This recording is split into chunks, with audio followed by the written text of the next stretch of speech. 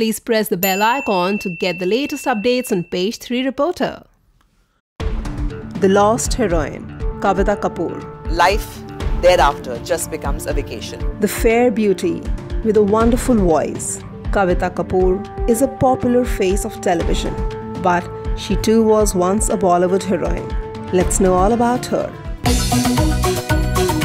Kavita Kapoor is mostly remembered for serials like Just Mohabbat, Saans, and Yes Boss.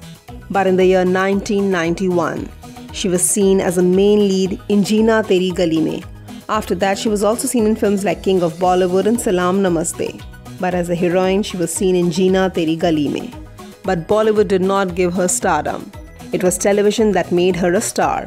She was seen in many serials like Kanoon, Saans, Kitty Party, Yes Boss, Pyar Ka Bandhan, Sumit Sambhal Lega, and many more. After a long time, she decided to do a diploma in visual communications and wanted to enter the industry as an entrepreneur. She is popular, she is beautiful, she has an amazing personality, and she is a popular face. But the fact is, she is the lost heroine of Bollywood.